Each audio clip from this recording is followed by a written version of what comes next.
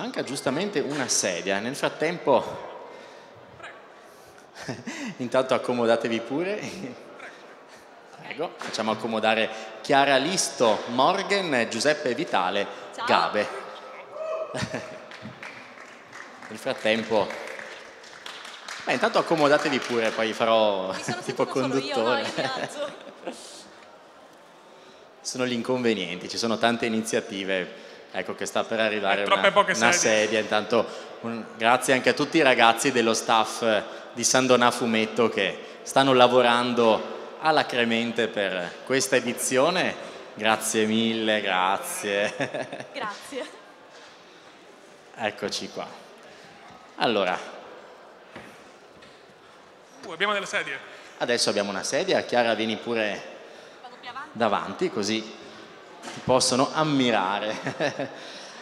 Allora, intanto vi presento, beh, come accennato è un duo che si occupa proprio di divulgazione dei giochi di ruolo, di questo mondo, di questa cultura e di tante curiosità. Molto brevemente, Chiara è nata il 22 aprile 1991 e Giuseppe invece il 26 dicembre 1990. Sono entrambi di Siracusa, quindi siciliani. Dopo il liceo classico si sono laureati all'Università di Catania in lettere e filosofia e adesso stanno ultimando la specialistica all'Università di Bologna dove attualmente risiedono. Sono appassionati di letteratura di ogni tipo, di giochi di ruolo, di narrazione, di cinema e di teatro. Beh, eh, cominciamo dalla domanda più semplice. Come vi siete conosciuti? Ok, allora ci siamo conosciuti al. Compagni di scuola, insomma. Compagni di scuola, sì, ehm, durante un'occupazione studentesca. Ah, Molto anni 70 effettivamente come cosa, però... eh, in effetti. Ci abbiamo messo circa un anno e mezzo prima di uscire insieme. Un anno e mezzo, quindi c'è stato un po' di, di attesa, di E poi niente, siamo rimasti così. Per dieci, sono dieci anni che stiamo insieme. Chi è stato a corteggiare chi? E l'ho inseguita per... Ah, quindi un lungo inseguimento. Beh, entrambi appassionati di giochi di ruolo, quindi vi univa già comunque questa passione, suppongo, sin dai tempi della scuola. Praticamente sì, eh, lui... eh, Microfono più, più vicino, più su? Ok. Sì, su. così ti Va sentono. bene. Allora, lui mh, giocava già ai giochi di ruolo da tavolo. Io invece ho cominciato con eh, i play by forum, i giochi di ruolo via forum un'era geo- geologica fa, eh, con un forum di vampiri. E quindi E io ero contentissimo di sapere che c'era una ragazza che era interessatissima a giocare di ruolo. cioè, era la ragazza perfetta, bella eppure appassionata. Quando mi ricapita.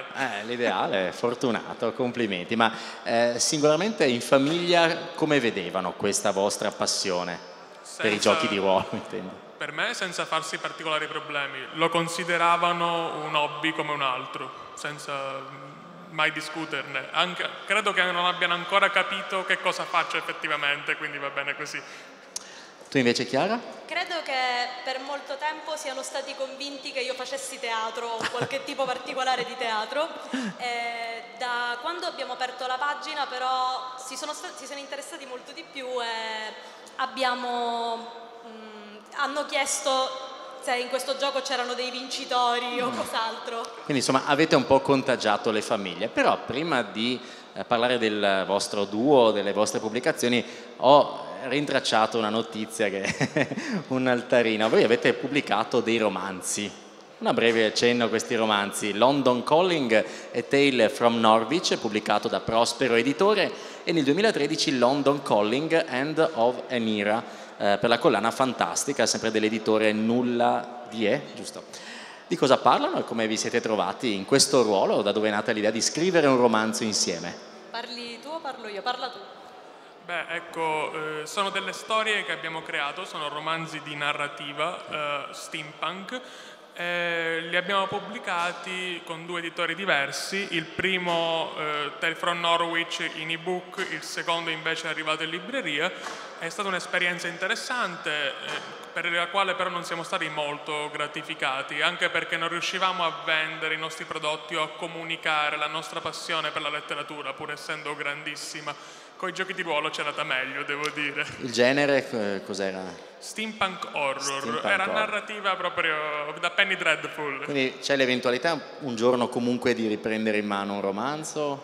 Per adesso non abbiamo in programma niente del genere, in futuro non possiamo sapere. E nel frattempo avete continuato, intanto sviluppato la vostra passione per i giochi, i giochi di ruolo. Ecco, mh, voi avete fondato il duo Morgan Gabe, protagonista proprio di questo incontro, ma prima avevate già comunque eh, fatto recensioni degli articoli. Io per esempio ho trovato eh, un articolo sulla rivista Fra le righe tuo di Chiara, quindi vi eravate già comunque un po', possiamo dire, esercitati nel ruolo di, eh, nelle recensioni, nel ruolo di, possiamo dire, quasi giornalisti. Allora, eh, abbiamo cominciato con la rivista Fra le righe, ehm, con un'altra rivista che si chiama Ripensandoci e parlavamo prettamente di narrativa, quindi di, di romanzi ehm, e anche di cinema e serie tv. E in seguito abbiamo iniziato a scrivere per eh, GDR Players, che è una piattaforma che si occupa di eh, far trovare gruppi sparsi per l'Italia ai vari giocatori di ruolo. Ehm, L'admin ci aveva chiesto di scrivere degli, ar- degli articoli per, per lui e poi abbiamo cominciato le varie collaborazioni, da lì è nato tutto. Finché poi nel 2017, quindi recentemente l'anno scorso, avete dato il via al duo Morgan Gabe, quindi Chiara e Morgan e eh, Giuseppe Gabe. Perché Morgan Gabe? Beh, allora è una storia abbastanza buffa, anche perché noi non avevamo pensato a un nome di battaglia o qualcosa del genere. Come dicevi tu, la pagina nasce nel 2017 e nasce praticamente per caso quando ho detto a Chiara, ma sai, scriviamo su un sacco di riviste, mettiamo tutto insieme così che chi ci segue trovi tutto. E come ci possiamo chiamare? E Morgan Gabe è il nick che utilizzavamo su altre piattaforme in cui scrivevamo, quindi di nuovo eh, la scrittura qui. Eh, deriva dal Morgan Gabio, un noiosissimo istituto di diritto longobardo. Eh, praticamente era quel dono che il guerriero longobardo faceva alla sua compagna eh, come controdote il giorno dopo il matrimonio. È una sorta di modo per appianare e pareggiare la relazione. E quindi abbiamo deciso Morgan Gabe perché siamo alla pari e via. Però, insomma... eh, qual è eh, quindi l'obiettivo di Morgan Gabe? Cioè su cos'è che puntate in particolare? È sul divulgare il gioco di ruolo, sul divulgare tantissimi giochi e sul far conoscere a più persone possibili la nostra passione. Quindi giochi di ruolo, c'è qualche tipologia in particolare o a 360 gradi? La nostra tipologia inizialmente è stata parliamo di tutto ciò che suscita il nostro interesse, di tutto quello che troviamo particolare, di tutto quello che ci piace. E ancora continuiamo così a parlare di, di ciò che ci piace. Sì, anche perché è inutile sforzarsi di parlare di qualcosa che non ci piace o con cui non ci troviamo. Bisogna parlare delle cose belle, delle cose che ci interessano, soltanto così si può mettere l'entusiasmo e la passione che serve. Quindi l'entusiasmo alla base del vostro successo perché siete un duo esattamente da un, circa un anno, però avete raccolto già molti consensi, proprio perché siete anche apprezzati per eh, lo stile con il quale eh, proponete le vostre impressioni, le vostre recensioni. È stata proprio una scelta precisa quella di porvi in questo modo. Beh, più che una scelta precisa è il modo in cui noi comunichiamo. Infatti non ti nascondo che sono un po' in imbarazzo a essere sul palco invece che giù in mezzo alle persone. Preferisco parlare con le persone, e credo che questo valga anche per Chiara, come se fossimo intorno a un salotto oppure insieme a un tavolo al bar e così via, rispetto che in maniera simmetrica. Un tono amichevole quindi. Eh, quali sono i criteri con i quali valutate un gioco? Cos'è che cercate di, eh, di evidenziare, di, valorizza- di valorizzare e poi come, in base a cosa li promuovete o bocciate? Allora, come abbiamo detto prima, non abbiamo mai, e penso non, non parleremo mai di un gioco di ruolo che non ci sia piaciuto sulla nostra pagina. Quindi se leggiamo un gioco, eh, se questo gioco ci piace, allora troverà spazio su, su Morgan Gabe. Ehm, cerchiamo di soffermarci sempre proprio in- sul fattore, mm, sul fattore che ti dicevamo prima che è quello del nostro entusiasmo, sulle parti del gioco che ci sono piaciute di più. Quindi ehm, se per esempio di un gioco, faccio un esempio, abbiamo apprezzato tantissimo l'ambientazione, allora porremo tanto l'accento su quello perché vogliamo trasmettere la voglia di provarlo che abbiamo provato noi.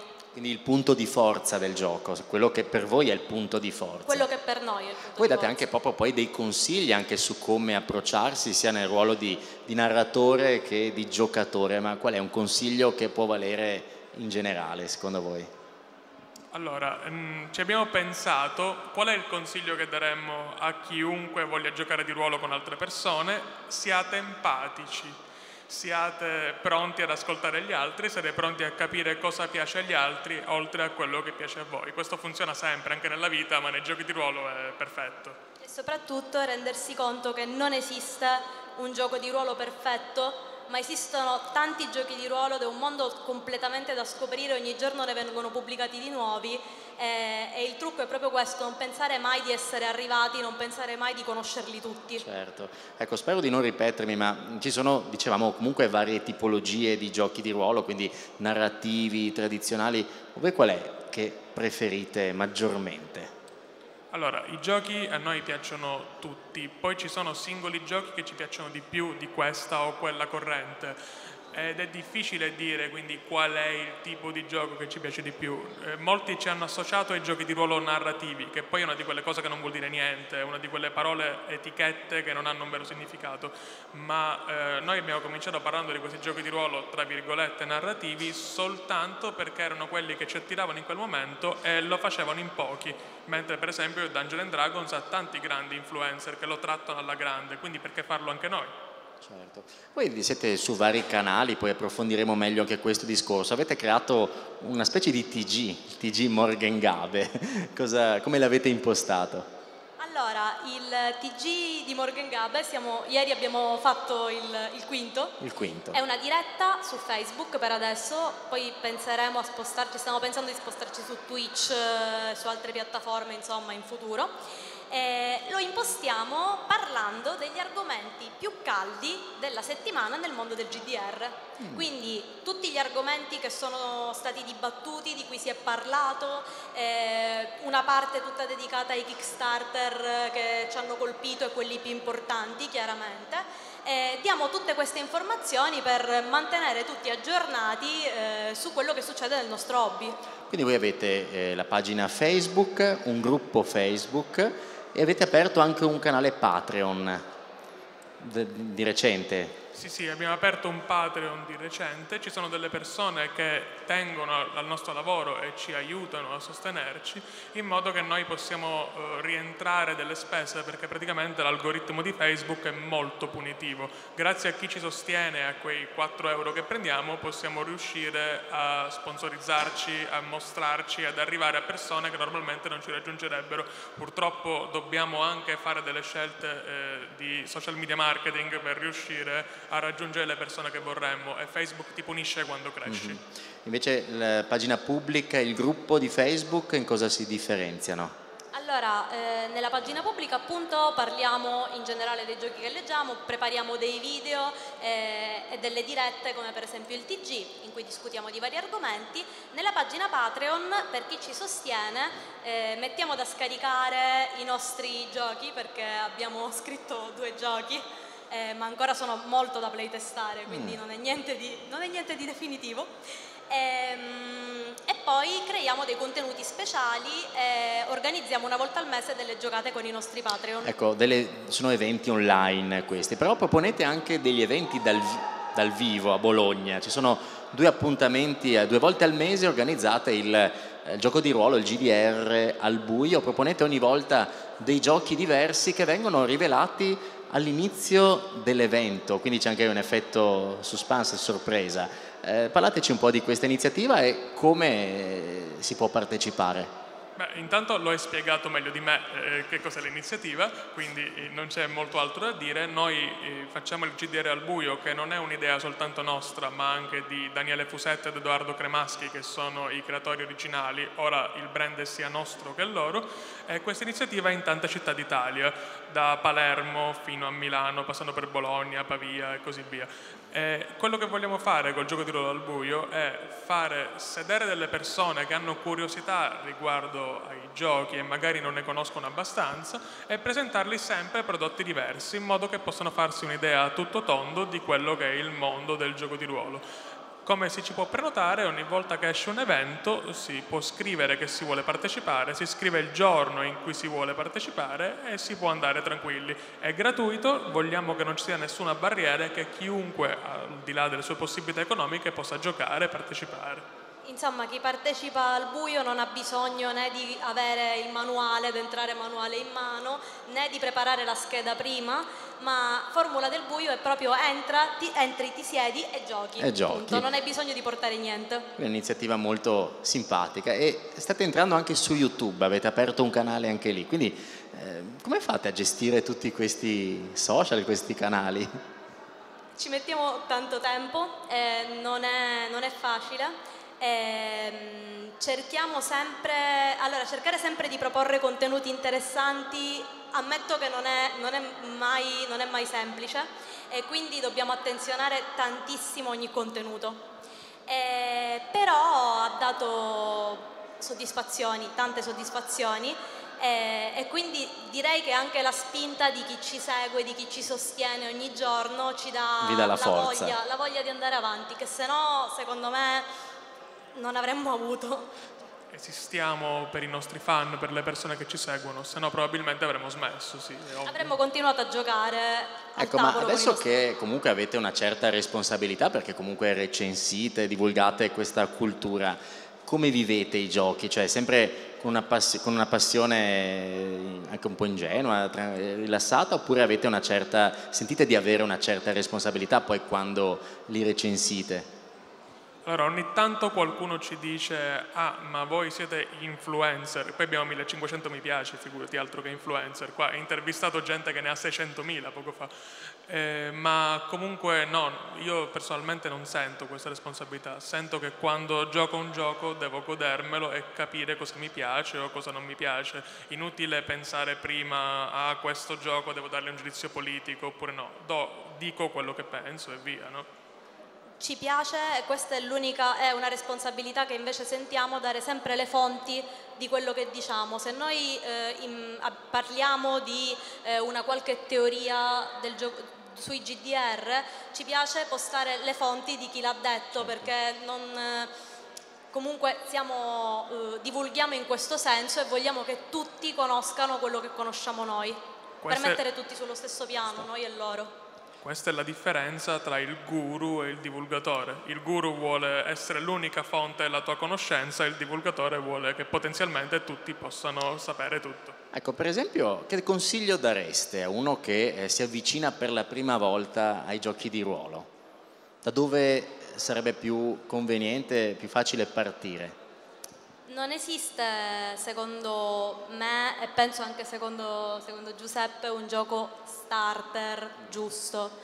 Io consiglio semplicemente di, eh, sicuramente tutti abbiamo un'idea di quale genere ci piace, di quali tematiche ci piacciono, in qualsiasi altro media, in un film, in un fumetto, in un libro. Io consiglio di partire dal genere e dalle tematiche che piacciono di più, quindi cercare un gioco del genere. Un'altra cosa, molte persone ci dicono ma come faccio a convincere i miei amici a giocare di ruolo? Se non vogliono, lasciali perdere. È giusto che tu con i tuoi amici ci giochi a calcio, ci esci la sera e così via, ma è inutile che cerchi di inculcarli a forza una tua passione. Cerca persone che abbiano questa passione. Esatto, al limite fare altri amici con la stessa passione. Ci sono molte piattaforme che si occupano proprio di mettere anche su perché esatto, si discute proprio del gioco di ruolo anche come uno strumento proprio per socializzare, per avere dei benefici anche dal punto di vista psicologico, sociale. Voi siete quindi ovviamente d'accordo. Assolutamente, assolutamente. Il gioco ha una forte valenza sociale, il gioco ti aiuta a socializzare e in alcuni casi, non con noi, ma con persone professioniste di un determinato mestiere, può anche aiutare persone con determinate patologie, soprattutto sociali, sfere dell'autismo e così via. Nello specifico c'è qualche gioco che vi ha colpito, che ricordate maggiormente, che, o magari che è proprio il vostro preferito? Allora, mi preferito, allora io non ho un gioco preferito, eh, ne conosco tanti, non tutti, ma tanti. Eh, più ne conosco, più penso, Dio... Immagino ne, ne avrai anche tanti. Abbiamo una bella libreria, una bella ma collezione. conosciamo molte persone che ne hanno più di noi, quindi ancora, ancora li dobbiamo catturare. Più o meno quanti ne avrete ormai? Allora, credo in libreria circa una sessantina. In PDF un centinaio. E contiamo entro la fine dell'anno di riempire tutta la libreria. Però, una missione. E abbiamo giocati tutti, eh? non abbiamo giochi che non abbiamo giocato. Tra giochi stranieri, giochi italiani, che differenza notate, se c'è? Domanda difficile, considera che la cultura dei giochi di ruolo in Italia arriva un po' in ritardo rispetto al resto del mondo, ma comunque rispetto all'Inghilterra e all'America soprattutto più che al resto del mondo, ma comunque abbiamo grandi game designer, anche qui oggi il livello dei prodotti che escono in Italia non ha nulla da invidiare al livello dei prodotti che escono in America, cambia la diffusione, soprattutto quando il prodotto è solo in lingua italiana, ma questo è inevitabile. Quindi noi siamo un po' indietro, però ecco, hai notato un cambiamento nella considerazione di questo genere di, dei giochi. Eh, diciamo che da qualche anno probabilmente eh, grazie al fatto che ehm, al causa, grazie a dei media eh, che parlavano di, di cultura nerd, eh, i nerd, tra virgolette, quelli che si interessavano ai giochi di ruolo, che si interessavano ai fumetti e così via, sono andati molto più di moda di prima. E adesso abbiamo un Anche i social hanno contribuito. molto, eh, hanno contribuito al fiorire di tantissime pagine influencer che parlavano di questa cultura. E proprio dopo questa fioritura eh, il gioco di ruolo eh, ha potuto contare tantissimi altri titoli in più ed è stato molto più diffuso. Ci sono anche più giocatori e soprattutto grazie ai video di gameplay che sono disponibili su internet, su moltissimi canali e che parlano di tutti i tipi di giochi, dai DGI ai GDR Rangers, a giù lo schermo e così via. Hanno abbattuto una barriera molto importante. Prima le persone avevano bisogno di andare in fumetteria guardando qualcuno che giocava.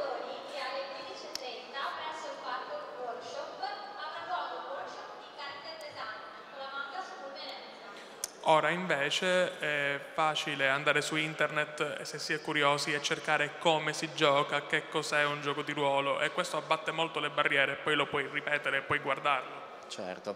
Eh, qui a Sandona Fumetto ci avete portato dei giochi. Vogliamo un po' eh, presentarli, spiegarli, perché poi sarete proprio a disposizione per farli conoscere, per far giocare i nostri ospiti. Allora, io domani porterò due giochi. Lovecraftesque di Joshua Fox e Becky Hennison, edito in Italia da Narrativa, che è il gioco di ruolo vincitore del premio gioco di ruolo dell'anno 2018. Infatti ha battuto addirittura D&D, è una cosa che non è mai successa. Come mai secondo te? Eh, possono esserci un milione di ragioni che io non conosco. Eh, sicuramente è la prima volta che un gioco di ruolo eh, in cui eh, le autorità narrative, eh, appunto l'autorità del master varia da giocatore a giocatore perché Lovecraftesque è un gioco in cui il narratore cambia di scena in scena e ruota eh, al tavolo. Vince il premio gioco di ruolo dell'anno. È qualcosa che sicuramente porterà a dei cambiamenti. Quindi questo è l'Overcraftesque. Lovecraftesque. Ha detto due giochi, l'altro? L'altro è The Quiet Year, ancora non edito in italiano, è gioco di Avery Alder, una bravissima designer che ammiro molto, autrice di Cuori di Mostro 2. C'è Giuseppe? Io invece porto B-Movie, che è della Helios Game, uno dei finalisti del gioco di ruolo dell'anno eh, di quest'anno. Eh, poi porterò anche The Grind o The Grind, non lo so neanche io, è un gioco su Mad Max, l'ho scelto perché è figo, tutto qua. Quindi questi immagino siano i giochi che vi hanno anche maggiormente colpito negli ultimi tempi. Ce ne sono altri che volete ricordare, che volete menzionare e anche suggerire? Allora, sicuramente un gioco che mi ha colpito moltissimo è Bluebird's Bride. È uno di quei giochi ehm, che non sono nati per divertire, ma per far pensare.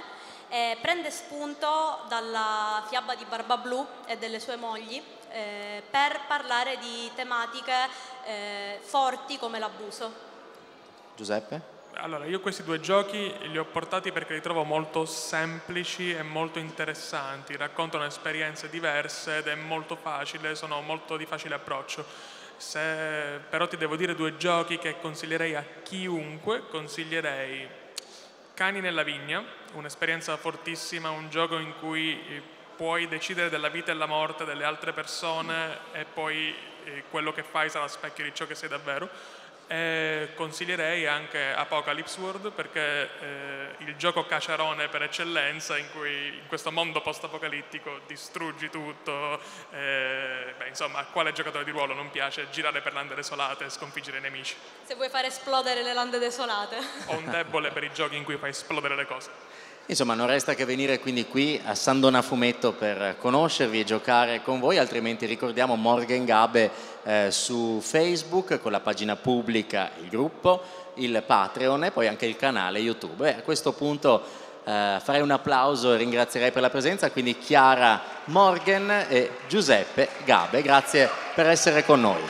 Grazie a te e grazie a voi. Grazie a voi e grazie al nostro ospite.